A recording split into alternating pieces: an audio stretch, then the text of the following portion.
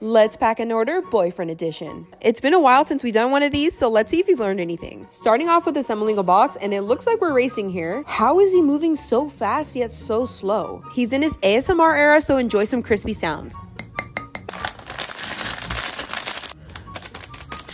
What an ASMR sensation. Okay, moving on. Oh, okay, I guess he's telling me what to do now. And here's a tutorial on how to peel a sticker. Loving that sticker placement and thank you for the close-up. Look at that tap, what a gentleman. Great technique and look how he pulls on the tissue paper to make sure it doesn't rip. Love that. Everything's looking good, nice and neat, except for that fold. It irks me a little, but we're gonna let it go. Nice display of the thank you cards and everything was pretty good up until this moment. I need it for my video. A little bit.